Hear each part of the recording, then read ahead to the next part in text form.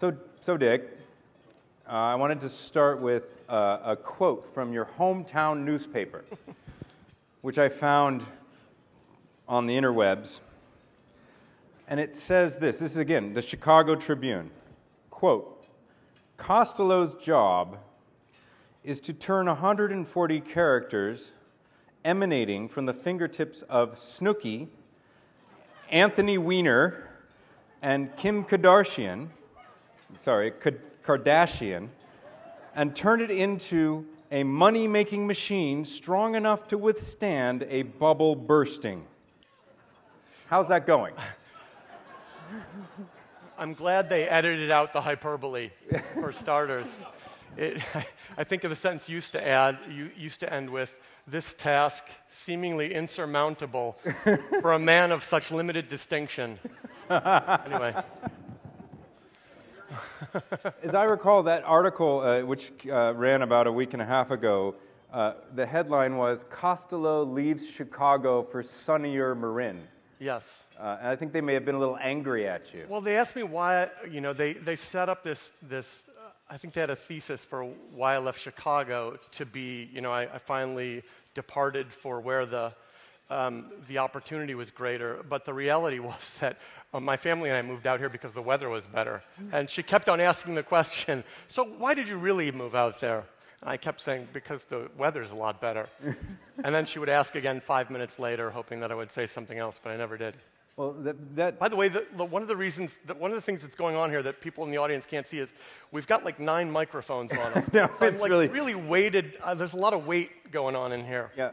Anyway. Well, we have we have lots of you know. You're like a robot. It's just in case of a, of a nuclear attack, we will be able to communicate.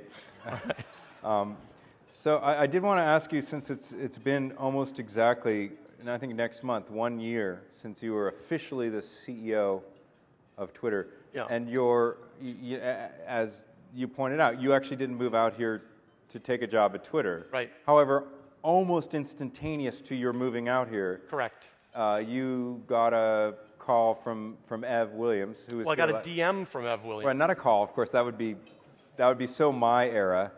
Uh, uh, uh a phone call, but uh, you got a DM. I got a DM from Ev, and he was. Um, well, he was getting ready to have uh, his baby, Miles, and he asked if I could come in for a couple weeks and just help out with the company while he was um, took a few days that off. That was a hell of a head fake. And uh, and then we uh, we kept conversing and went back and forth, and I eventually came in as the COO. Well, eventually being two weeks later. so now you've been CEO for a year. A year and several days. A year and several days. Not that you're counting. Not that I'm counting. So I, I, it wasn't a typical path to CEO of a major, you know, eight billion dollar valuation on the secondary market kind of company. Yeah. So I have a question for you. This is a serious question. I'm sorry. Does it feel like it's your company now? Because there was an awful lot of, I don't know, soap opera stuff going on for a while there with the board and the founders yeah. and the this and the that. And yeah. Is it, is it Dick Costolo's company? Well, it doesn't say that when you come in. Um, but I think the thing I'd say about that is you know what it's like to found, found a company and be the CEO of a company you founded, as do I. I've been founder CEO of a couple companies. And, uh, you know, from day one, you're the, okay, well, it's my company, I started, I'm the, I'm the founder, and now I'm the CEO of it. This is certainly a case where I feel like I had to earn the, um, trust and respect of the team? And yeah, so the short answer to your question is yes, I feel like it's a company that uh, the people in the company respect me as the CEO, they trust me as the CEO, they come to me as the CEO instead of saying, well, maybe I'll go ask the CFO uh, if he can tell Dick to do this, or I'll go ask Jack, or I'll call Biz. So, yes, in that sense, I feel like um, it's the company that people know that inside, internally that I'm the CEO of now, and they respect and trust me for it. But there's always a little bit of a difference in being a founder CEO and uh, coming in as an external operator and becoming CEO. Right. When you how's that for a serious answer? I, I, I thought that was quite earnest. Serious question. Yeah. Yes. That was very good. Um, when By the way, I'm staring at these two waters, trying to figure out if I'm supposed to drink out of both of them. or I just think, one. I think one of them. I've got was, a coffee. I've got coffee, but all right. Go nuts. If you finish one, start the I'm other. not going to touch either one of them because I'll get it wrong. Uh, when you came in, Twitter was in a certain spot. And I mean when you came in as a COO, yeah. Um, where there were a lot of whales um, and a lot of fails. Yeah. Um, what, what was broken that you had to fix and, and why? Yeah, so there was a couple specific things that were uh, broken that needed to be fixed. One was we were in a managed services environment um, that only allowed us to scale up to a certain point on homogeneous uh, hardware. So we weren't allowed to design our own hardware configurations, have different machines that were running, you know, that were running Memcache and different, different machines for front-end servers. We had a homogeneous set of hardware uh, with limited ability to expand. So that was one big problem. We had to move into our own data center where we could design our own hardware. And then secondarily, um, we were on a, basically a monolithic um, soft, the, the Twitter was written as a kind of a monolithic software architecture, not a set of componentized services. Um, so uh, we've completed the move out to our own data centers uh, on our own kinds of hardware configurations, and that's helped tremendously. I think that was probably the thing that helped the most because now we can scale just by adding, adding more machines. Um, and then the second piece, which we're in the process of wrapping up uh, for the most part, is getting off this monolith um, and, uh, and being able to deploy a set of services that are completely distinct from each other but work together. So that'll be wrapped up by the end of this year. It was those two things, and it was uh, you know, an extraordinary engineering challenge trying to do all that while you're growing as fast as we were growing. So that's what I wanted you to do, you know, before I get into asking you any really hard questions, is reel off some stats. You recently, you recently uh, published a number of them, but yes, I'll us- reel off some stats. Reel- you can just tell me when to stop. I'll just start going. just go, just reel. Um, so uh, let's see. Um, we were at 100 million tweets per day at the beginning of the year. Um, we're now at almost a quarter of a billion tweets per day. Um, to put that really in perspective, it took uh, three years and two months to send the first billion tweets. And again, now we send a billion tweets every four or five days. Um, that's one. Uh, we had, um, we're, we're at a, over 100 million global active users. Um, half of those log in every day now. Um, not only has the global actives number grown tremendously this year, faster than it's uh, ever grown before in terms of percentage growth, but the logins per day has grown trem- tremendously. I think it's correct to say that we were about 30% of our active users were uh, monthly actives were active every day uh, at the beginning of the year, and now it's over uh, over 50%. Um, mobile, as you would expect, um, but but bigger than ever. Um, we're growing our mobile users at over 40% quarter on quarter for the last uh, couple quarters, and then with the uh, with the release of iOS 5 uh, last Thursday, um, we've seen our uh, daily signups just via iOS devices go up by more than 3x. Um, uh, and again, that was just on the first day. So the iOS integration is going to be absolutely huge for us. And uh, you know, we looked at the chart after the first day, and uh, we all anticipated that it was going to be big because the integration is so native and feels so frictionless. But I think it's going to be even better than we thought it was. I, I wanted to ask you about the Apple uh, iOS 5 launch. Uh, You, you just answered one of my questions. I, my question was, how did it go? And I think your answer was pretty good. Yeah, it went better than we even hoped it would, which is amazing because we had high hopes for it. So, um, just, um, get, you know, the other thing you get from the iOS integration is you get these emails from people that give you a feeling for uh, the magnitude of the possibilities. You know, and, and, and, they're, and they're just anecdotal, but they're things like you get enough of them that, that are of the, of the tone of voice of, I didn't realize how frictionless this would be. I've already tweeted this many photos. And you know, just to relate one of those sounds like, okay, well, so what? But you get enough of them coming in from different corners of the world that you start to realize it's going to be a big deal. So, how do you feel about t- tying part of your fortune to the Apple wagon? Well, so those guys are an amazing partner for us, and, I, and I'll say this for a couple reasons. One of them is because Um, when those guys think about products and enhancing products, they think about editing them. Um, you know, I've said before on stage when people have asked me about things like uh, how we think of ourselves vis-a-vis Facebook and Google Plus, I always say um, we're going to offer simplicity in a world of complexity. But what I mean by that is we're trying to edit the product down and simplify it, not just layer things in. And Apple thinks about things the same way. Um, and it's kind of a simple statement, but it's really hard to edit out things. You've got engineers, of course, who want to deliver features. You've got customers who are telling you, if only it had this and this and this, and voicemail, well, I would use it a lot more. And so the volume that comes in makes you want to add things, and you have to have the, um, uh, you know, the self-control and focus to edit out. And Apple has always been a company that does that. So they're really, in a way, kind of a, a corporate mentor to us. So they're, in, in that respect, they're a great partner for us. Why did they pick you and not Facebook? well, you'd have to ask them that. Damn it. Let's go back to all those tweets. Yes. 250 million. Almost 250 million. Almost Just 250 million, million or so a day. Each one of them, not just one data point, but many, many data points because it's who tweeted it, what their interest graph is, yeah.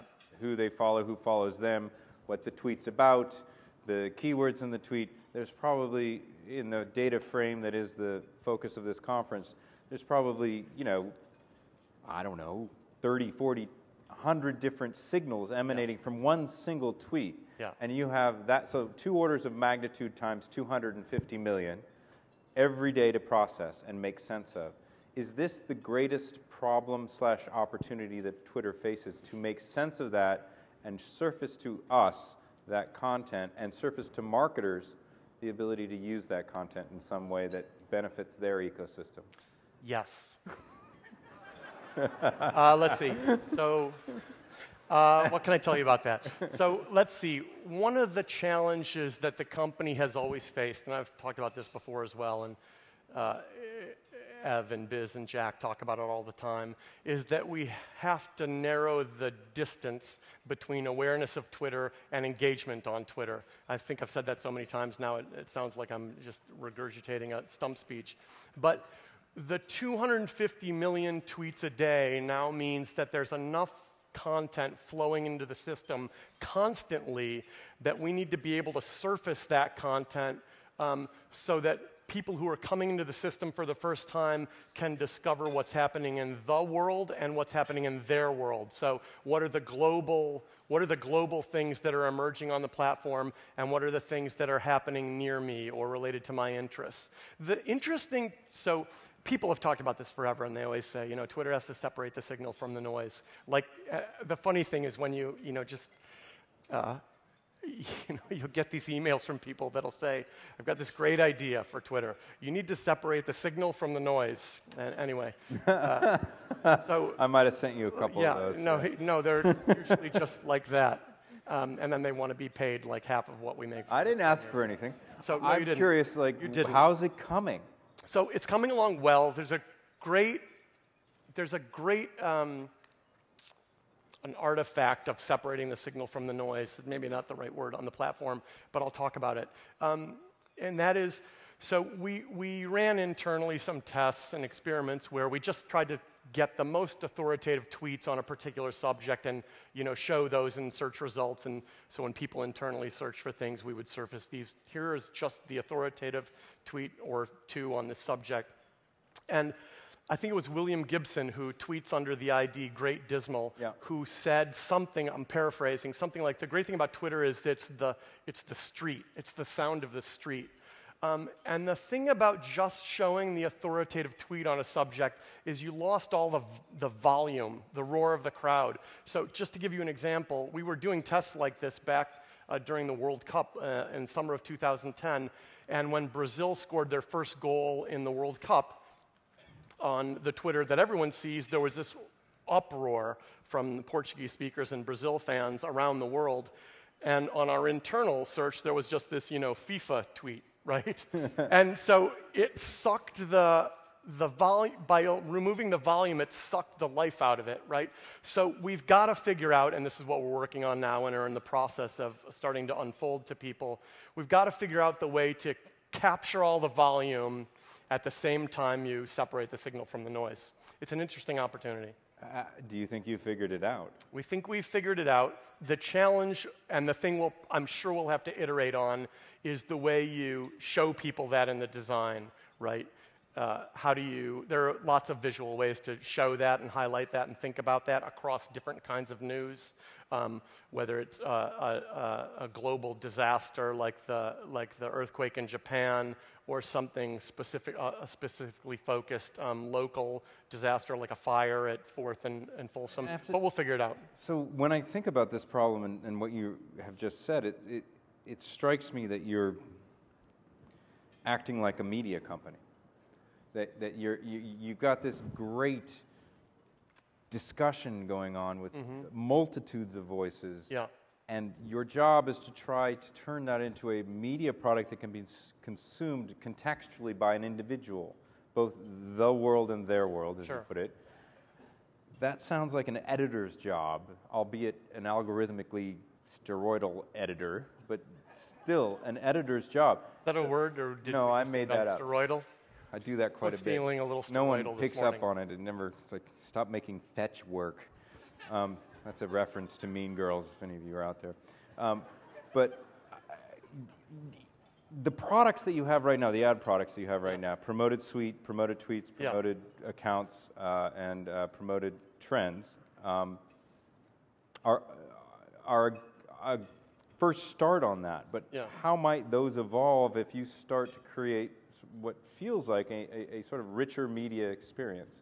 Well, they'll, they'll, they'll, they'll scale out. Um, so I'll say a couple things about that. One, when I think about the, the things that I worry about growing the business, people, people always ask you, what do you worry about when you go to sleep at night? And I always answer, like, well, that's when I'm trying not to worry about things. I try to worry about that stuff in the morning when I'm working, so I can go to sleep at night. Um, but, um, but anyway, to continue with the cliche. Oh, I got to cross the what keeps you up yeah, at night what keeps me up at night. question off. Yeah. um, so Damn. I'll answer it in that, in that cliche, though. The, the thing that keeps me up at night is not the efficacy of our advertising platform. That thing is working better than we could have ever hoped. And I think one of the reasons it's working so well is there are lots of uh, media platforms, digital media platforms, that businesses come to as a function of, of, hey, we want to market on this platform, or we want to advertise on this platform, and that advertising gets sold to them. Those companies around the world, was that me? I, no. It sounded like a drum went off. Um, those companies around the world are already on Twitter uh, today. You know, everything from the corner restaurant in Tokyo that takes reservations on Twitter to, you know, walk down Minna Street here on the side street and you'll see the bird and the at username on the, on the little chalkboard outside the coffee shop. So all we've got to do from a, from a, a business perspective is help these folks amplify the communications they're already having on Twitter. And most of them have come to the platform to, listen, to start by listening to their customers then engaging with conversation with their customers, and now this next step will be an evolution of that and amplify the communications they're having. Will the ads on Twitter change their format? Will we see richer media, more space, more? Well, I think that the right answer to that question is we have all of our advertising products on Twitter, promoted trends, promoted accounts, promoted tweets, are duplicates of things that already existed on the platform. So we will likely not go say, and now we're going to launch a giant movie ad format that takes over the front page. It, the things that we do in Twitter around advertising will be things that users are already engaging with as organic content. So if the follow-on question, if I may interview myself, is then, uh, will you start to, you know, surface more rich content in the interface? Um, and how do you do that in the? You already are starting to do characters? that. Yes, the answer is yes. We will start to do that. Therefore, there will be richer ad formats. Well, we'll see how people interact with the rich content and right. then decide what to do from there. Okay. Got it.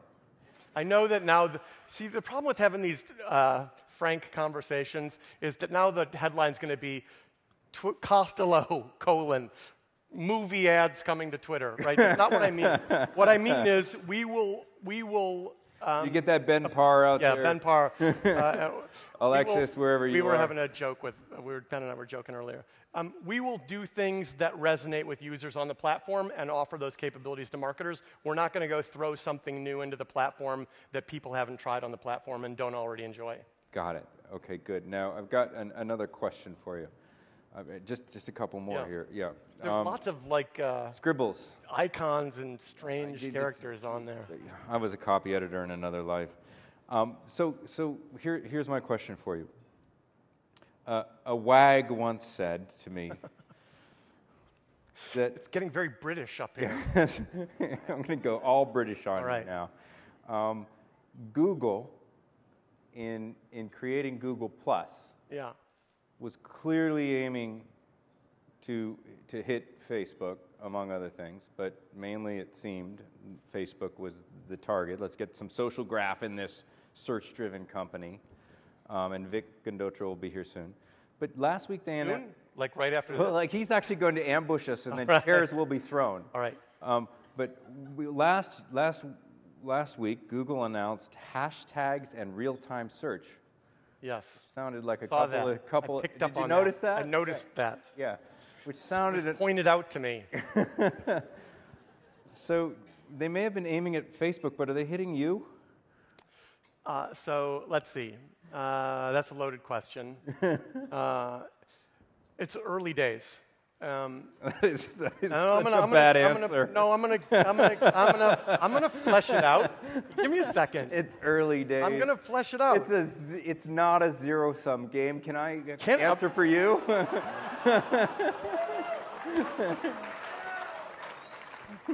Just for that, I'm drinking out of both of these waters. a person can't throw out a topic sentence anymore. Uh, so Bradley Horowitz has made clear, in fact, he said this uh, last week, um, that they're going to compete on features. And as I've said, um, we're going to complete, we're going to compete on simplicity. Um, in fact, I think Bradley actually said we're going to compete on features, including simplicity. As Um, a feature. Well, it's his quote. Someone's going like, "Whoa!" I'm like, "He said it. I didn't say it." Uh, we're just going to compete on simplicity, and so we're going to try to simplify the the the interaction and simplify the way people use our service. And we want to look. We have lofty ambitions, right? We want to be part of the fabric of every communication in the world, and we think we can be on two billion devices around the world, and we think we can reach every person on the planet. Um, and we think that the way to do that is to simplify it. Uh, so I think that over time, Google Plus and Facebook will be more and more different uh, from the experience we're trying to pass on to our, our users.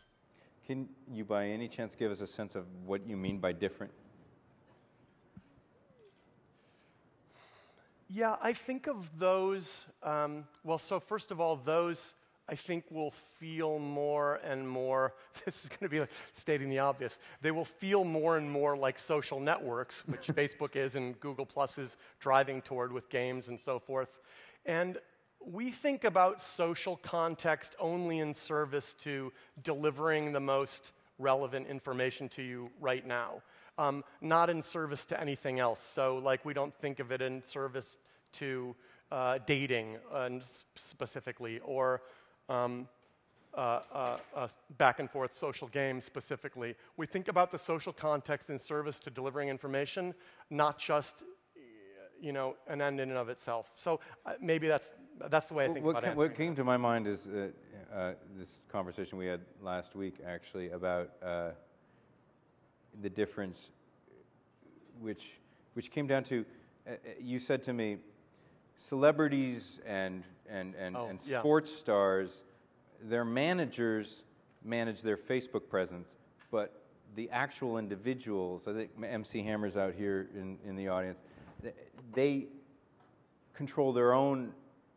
Yeah. I'm glad- identity I'm on glad- Twitter. I'm glad you brought that up. So I was, I'm, gen- and that seems I'm, to be a difference. I'm really generalizing here, and again, someone will say that's not true of this in this particular case. But one of the things we observe is that for other platforms, uh, I don't think I, I don't I wouldn't isolate it to just Facebook, but for other platforms, athletes, uh, musicians, uh, actors, actresses, uh, uh, uh, politicians have people that or managers or agents that manage their presence on those platforms.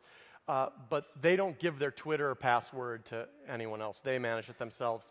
And I think that that, um, it's an overused word, but that authenticity and that I want to have this relationship with my, with these people and talk to them directly uh, is ultimately going to be, um, you know, is ultimately what makes Twitter Twitter, and we have to we have to wrap our arms around that and not do th- that means um, not doing things like um, that that ruin that for for those people. Right, right. There are lots of things you could imagine that could ruin that. I want to pivot uh, a little bit to how Twitter is used in in to affect or amplify uh, social change. Twitter's yeah. been a, a, a, very important part of it. I, I think that there's pro- it's probably fair to say that Occupy Wall Street or hashtag OWS yep. would not have scaled to 100 plus cities in a couple of weeks were it not for the extensive use of, of Twitter. Yep. Um, and certainly in Facebook and other, obviously, cell phones, everything else. But it, it strikes me that there's a sort of special place for Twitter. Some of that has to do with the real names debate, with anonymity and the ability to organize under a different handle. And sure. we heard this from Chris Poole earlier today. Sure. Um, Sean Parker alluded to it as well as in terms of one of his. Uh, no doubt. And so, tell me a little bit about how does it feel inside Twitter HQ to be called to the floor of the House of you know Houses of Parliament because they're concerned that they may be using Twitter in a subversive way, or to be banned from uh, the word Twitter is banned, as I understand it, from French television. That has something to do with like you can't tout one brand unless you tout all its competitors. I just think it's because they're French. Anyway. okay, so there's a bunch. They've had a couple revolutions. They don't need another one. I, I mean, but, but let's talk about that. I mean, what what yeah. you know Gosh, is that in the DNA of, of, of, the, of, your company? Is it in yeah. your sort of founding values? Or is it like, hey, that's being done and, and now we need to organize around that? We need to protect that. Are you as committed to protecting that concept as you are committed to making sure that you protect, for example, the ability that, that you know, well-known public figures can, can control their own, uh, their own handle? So the short answer is yes. In fact, one of our core values is uh, respect and defend the user's voice. Um, and as you mentioned, during the Arab Spring, which was technically the winter, but let's not get picky.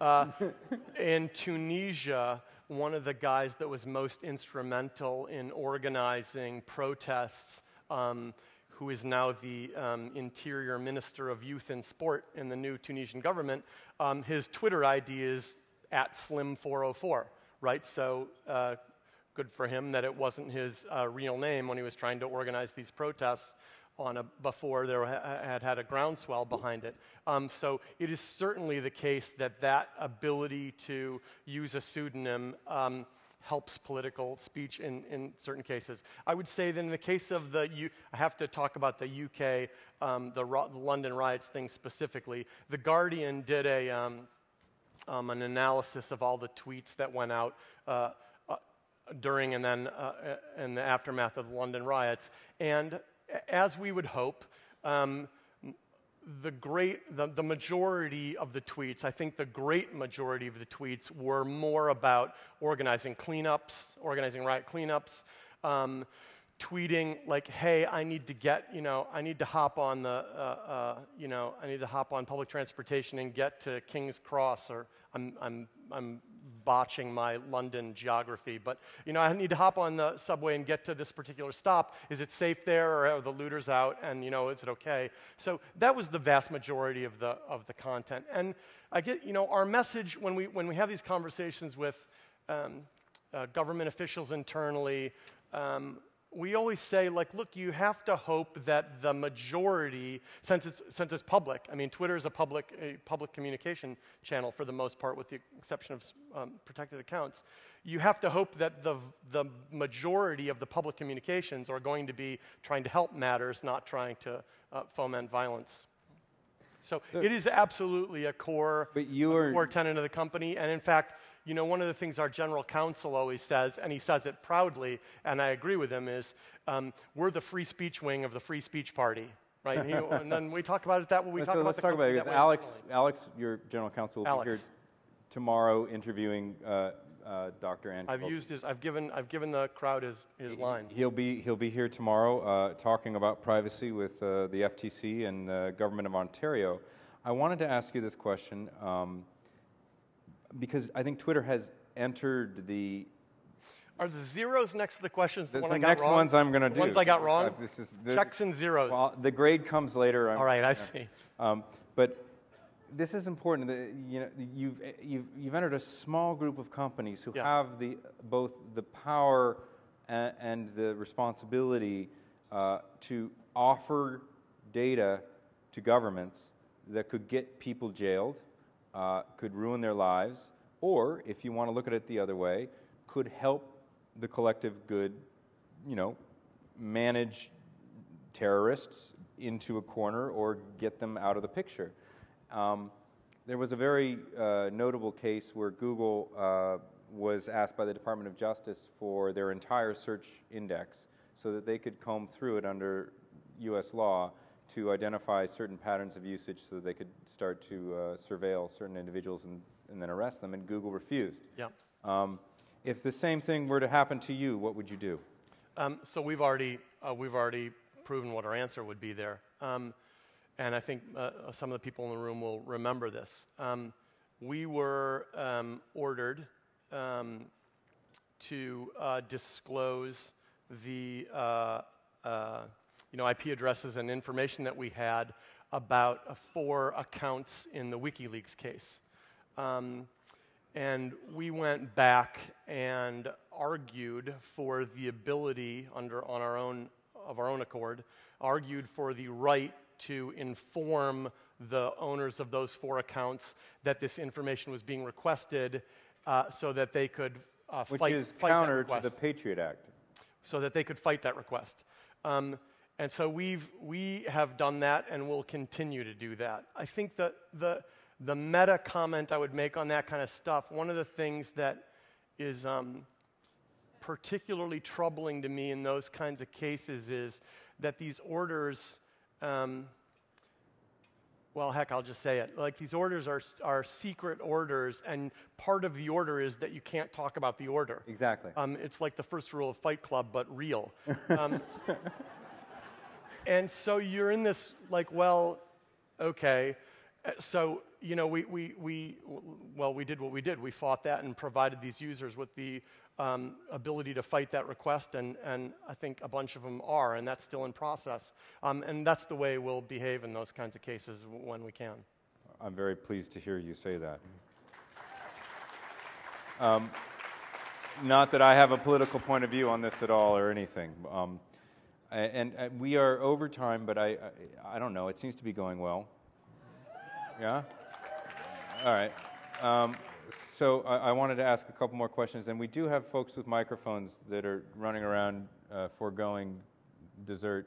Uh, in case anyone has a question, I guess just wave your wave your arm, and they'll try to find you.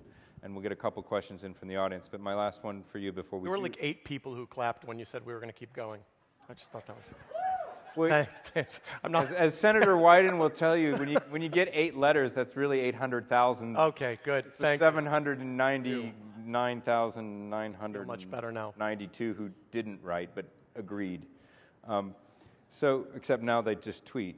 And, anyways, here's the question for you. Um, we saw earlier today uh, the the result of the financing frenzy that is occurring in the valley, and has it mashes it up against the regulatory realities of, of, of, of our of the U.S. government. In that Mark Pincus had to bow out uh, because of sensitivities around his uh, quiet period. I heard, I heard about that. I was going to bow out from my dinner chair there just to one up him, but decided to come up. Uh, that would have, I would have, well, we would have figured something out. Not. Um, the pressure, Twitter has an eight billion, roughly seven, eight billion dollar secondary market valuation. Let's just right? call it an even eight. Okay. an eight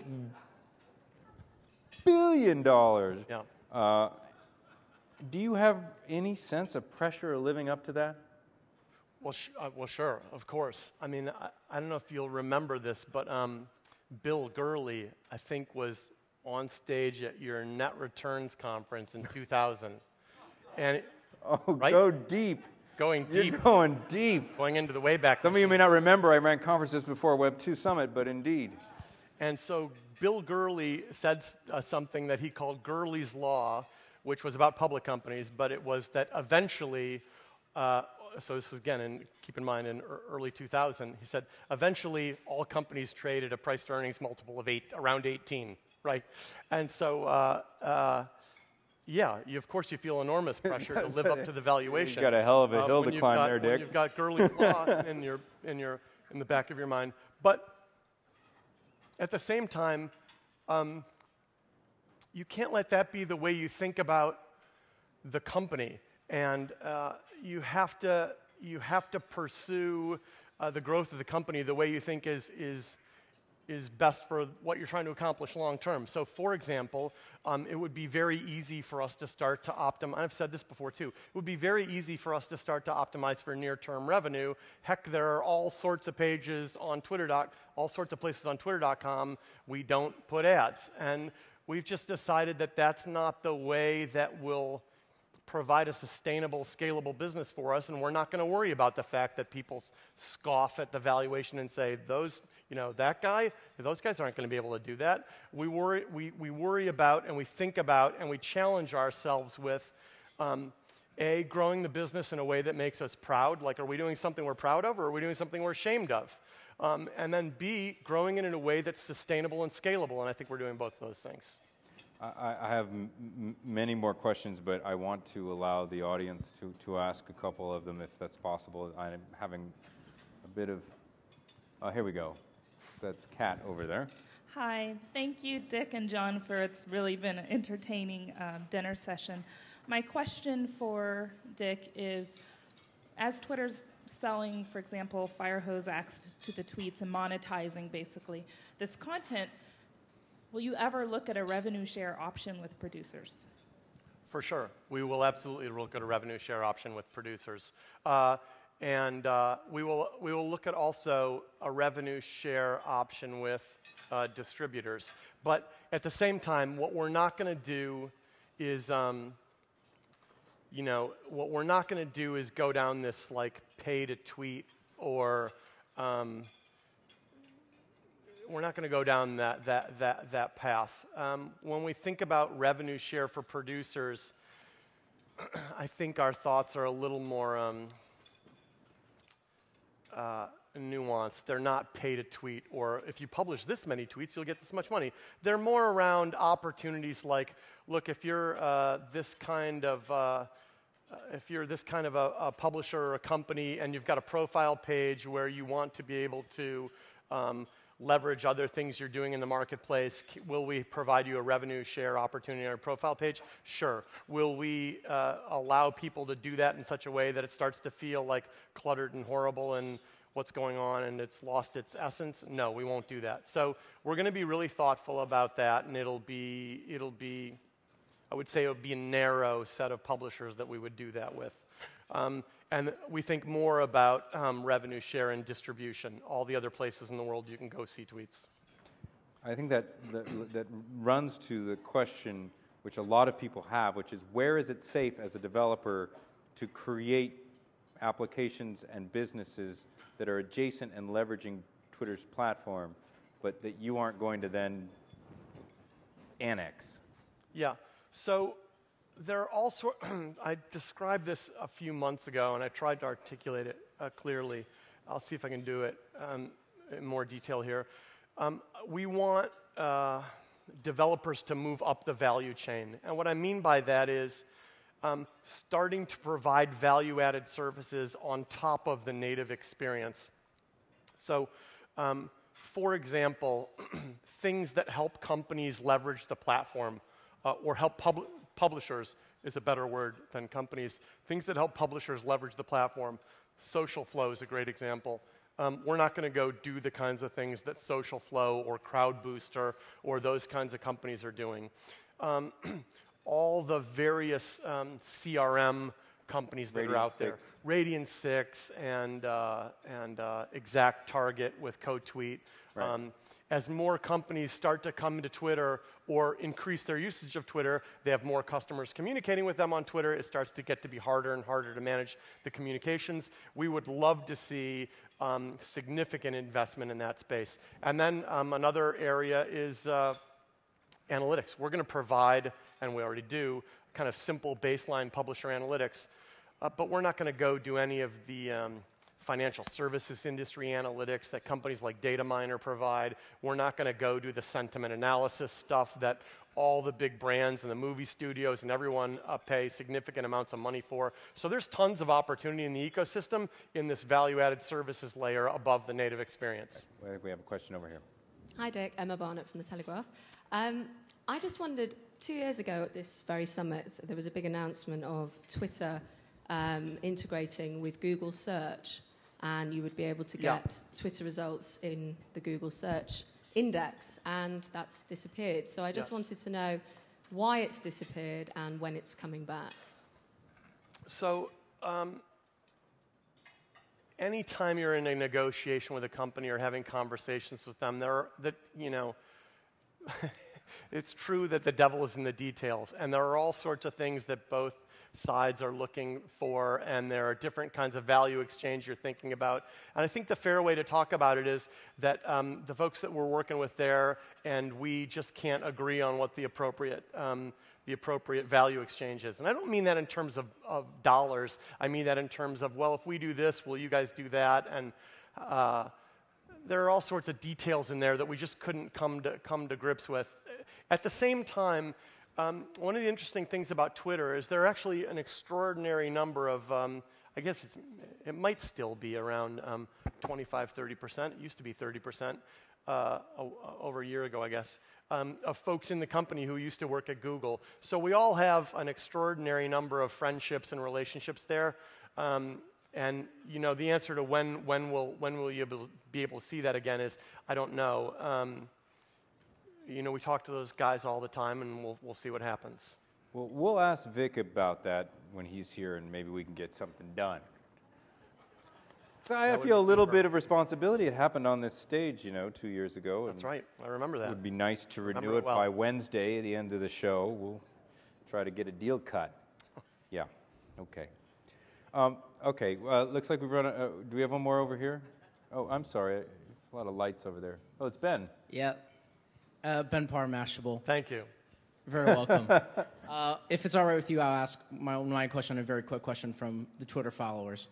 Uh, my question is, I was at, um, I'll start very quickly. I was at a wedding, and I last weekend it was in Des Moines, and I was at talking about technology, and um, I heard a lot from a good number of people who are on Facebook, but they're not on Twitter. The issue being, um, issue you probably heard many, many times that they can't get into it, or that they don't think there's a purpose to it, or they don't have anything to talk about, so they don't feel like it's useful.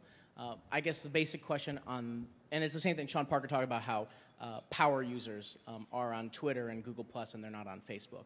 The question is, does Twitter have that uh, same potential for mainstream appeal that Facebook has? Um, and then question from the chat from at Cheetos from chat. Does Dixie look like Cheetos? Well, I'll I answer just- the I've just- second. I'll answer the second question first. Uh, the woman who wrote the Chicago Tribune article that you quoted, she, she. So the answer to the second question is no. Let's just let me just let's just do that. I don't look like Cheetos. Um, the answer to your first question, I'll go back to my earlier comment about narrowing the distance between awareness and engagement on Twitter. There have been a bunch of like, you know, jokey blog posts about the 42 steps to get engaged on Twitter. and, you know, they're first come to Twitter, you know, then don't, you know, don't have anything to tweet, so you go away. And you come back later and write, it's kind of the story of eventually climbing the very steep learning curve and cliff uh, of getting it, and then you're a core user. And we see that in our user statistics, right? A, a certain percentage of people drop out immediately, and then once people get it, the churn rate for those people is de minimis.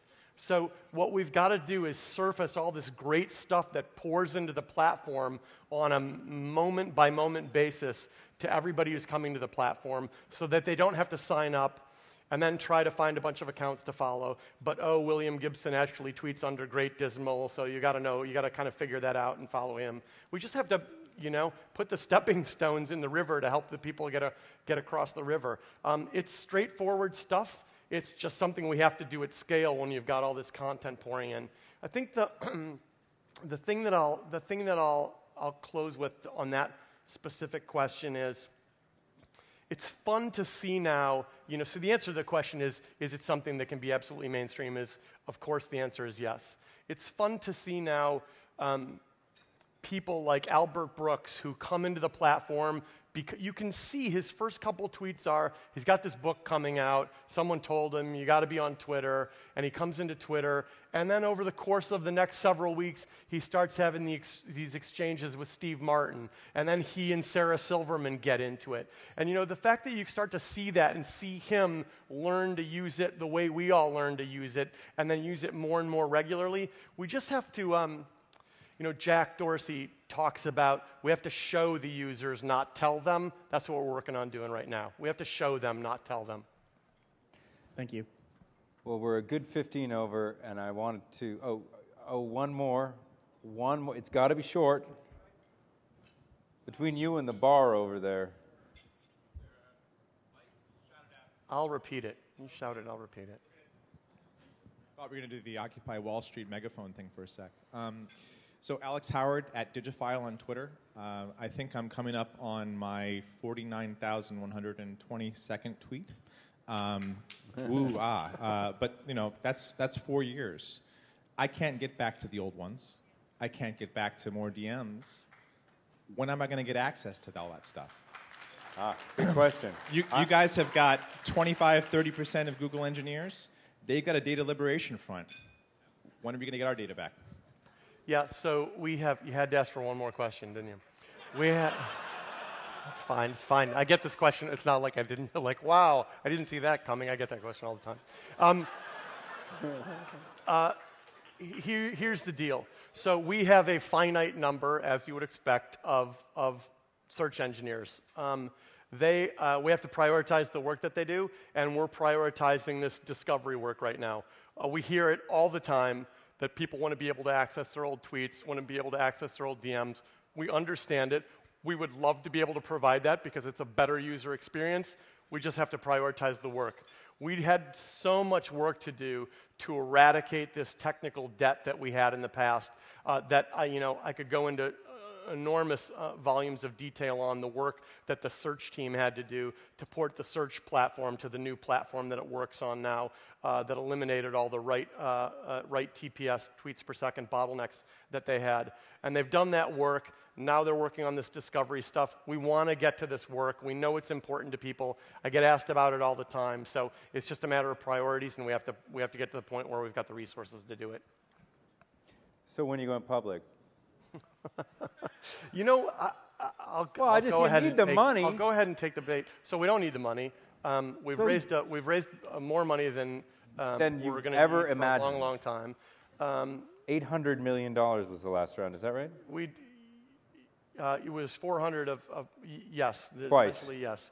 Um, we've got more money than we're, we're, we, you know, than we, we're gonna we're gonna need for a long, long time, and it's going to allow us to scale the business in the way we want to scale it, at the pace we want to scale it. And I don't, you know, we don't want to have to be beholden to like an IPO window, right? You, people start calling you, and they're like, "You got to get out." No, you would have canceled on me date. tonight. You got to get out before this date or the window's going to close. Like, I don't want, I don't want to have a window. I want to go public when the company's uh, ready and prepared to be a public company and not at the whims of, you know, some, some window. Here, here. With that, I think we should uh, all thank Dick for giving us so much of his time Thanks, tonight. thanks very much. Thank you.